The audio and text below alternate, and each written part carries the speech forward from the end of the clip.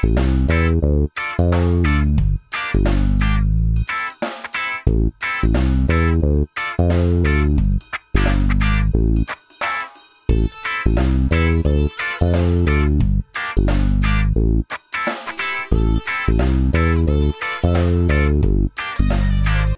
I'm going to run you down uh, my whole list here. I have a brand new shifter with the internal cable and everything. What we have right here, this white cable with the printed little connector, that's uh, for the flight deck, the flight deck uh, indicator. It's a computer that comes with these from back in the day. Uh, they're pretty much irrelevant. I'm actually just to cut this off. It's up to you if you want to route it back through the shifter. Oops. This old one actually does have it. As you can see here, the old one's all folded up in here. And it runs through, down inside. I believe inside here, if you take the this entire grip off, I believe there's a, a spot for it to connect. But like I said, I'm not going to do that, so uh, just be really careful if you are or if you do have a flight deck shifter, if this is a restoration project for you and you do have that and you wanted to keep it, uh, just be wary of the small cable. So uh, what we're working with today, like I said, our new shifter, we have an old one. It's incredibly hard to find these in good condition.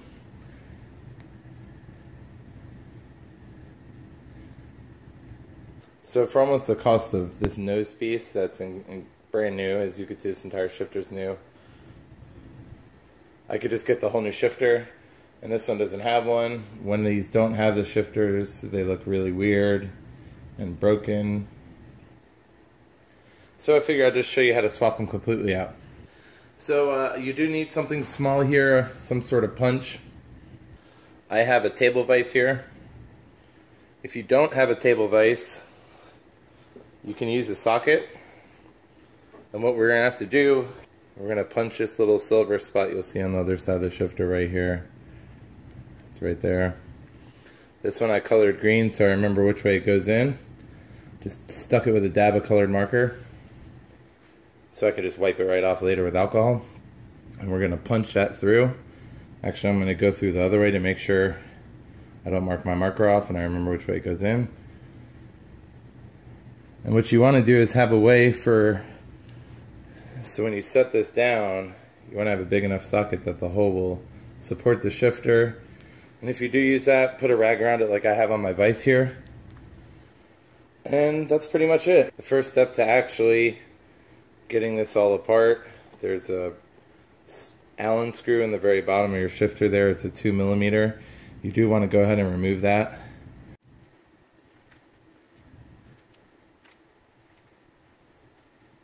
set them into each other and stick that aside. The next step, we try to make sure, like I said, you don't want to mark this side, so you want to face it down. And then we tap this piece out.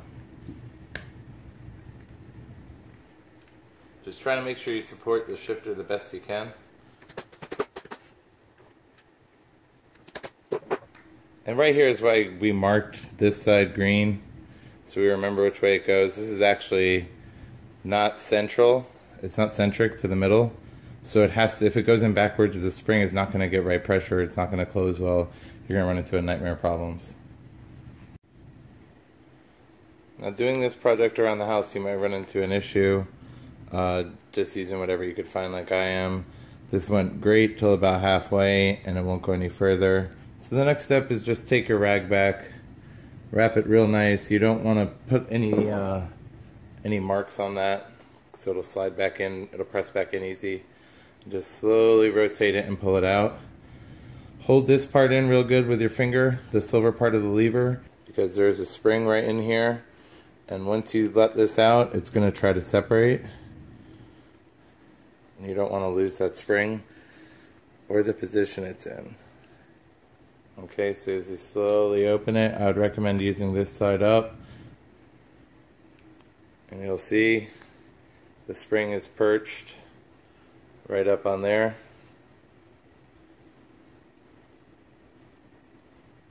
It can come right off, but it is clocked in a position that it needs to stay on, so I'm going to actually just leave it there so I can flip it over and change it. And we're going to cut this and take this whole shifter body out. Okay, actually I just ended up just pulling this apart. Okay, so if you do look, there are some adapter pieces, one which a spring is perched on right in here too. So you do need to swap those over very carefully. I would do the spring one last if I were you so you can take note of the position. If you look closely here, you might want to jot this down on a piece of paper. Now's the time if you're going to pull this cable out to pull it out. Also be careful of this little brake barrel. They can pop out if you're not you know, you put your fingers on them, they'll push right out. So just be gentle there. And when you do pull that out, you will have this little dust cover fall right in your hand.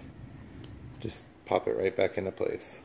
If you're worried about the position of the shifter, you can see this is the way it was.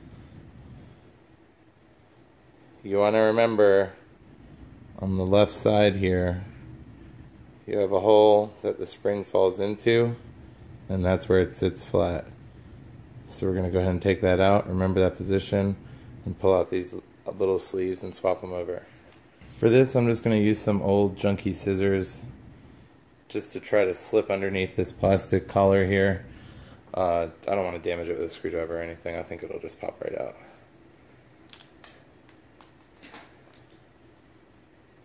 Probably best to do that over a table. Just pops right out though.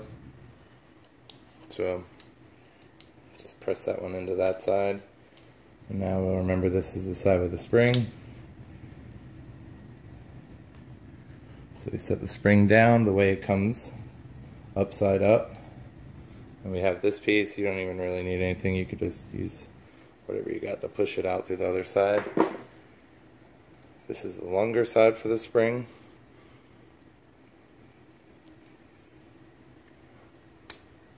Hmm, press and you could hear that's a satisfying click you know it's in the right side the right hole you want to hook this side in first and then lift up the back side right here to slide it on top and there you go so now that we got all this together with the spring we're going to take this lever sticking out right here right there we're going to make it fall on this shelf that we spoke about earlier, this little ending piece. And if you just stick it together, it's actually going to miss it. So you have to try to make sure to get it get in there real good. There we go, we could actually see it there.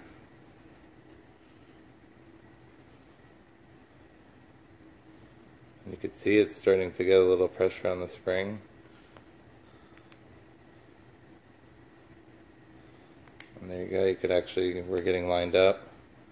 And you could see, you can see the springs on its little perch on the ledge right here. And this will make sure you have brake pressure. Because what happens is if you just push these two pieces together, like I was showing you, you just don't really line it up and you don't get it on that shelf, on the shelf right here, it, the brake is just going to flop around. It's just going to be super floppy, like there's nothing there, like the spring's broken. And so from here, hold this good and tight because you still have spring pressure just like when it came apart. Put it on your vice piece. So holding it together, we get ready to press it in. We're to start with a hammer. Oops, that's the green side. Start with a hammer and finish with uh, the chisel. Just be careful not to hit your new stuff or your shifter if it's in good condition.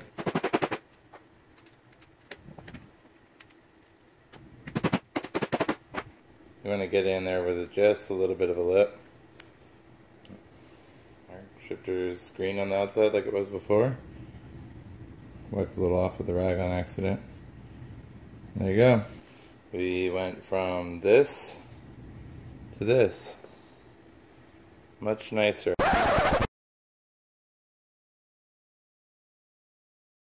Alright, so now that you're a master shifter rebuilder, not really, just swapper, whatever. The one thing I did want to point out, when you open this shifter up, I already started to pull it out a bit ago, but there is a little bit more of that. You want to get some needle nose pliers. You want to make sure to just pull out of the shifter hole.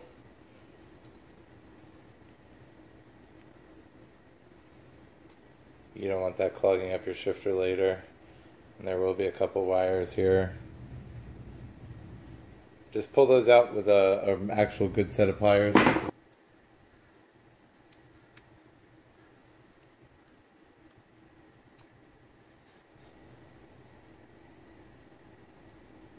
You can see there's still a little bit left there. You want to just get it all the way out.